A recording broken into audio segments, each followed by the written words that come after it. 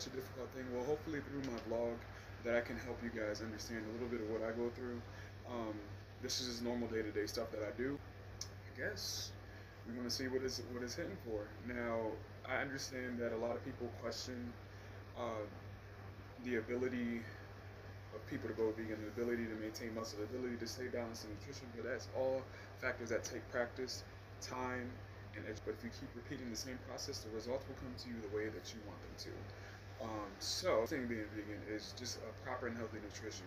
Um, I do have a full breakfast and usually whole grain cereal, either peanut butter or something in a wrap to kind of give me a carb and protein balance as well as a healthy fat. Um, also, my carbs consist of whole grains and um, fiber because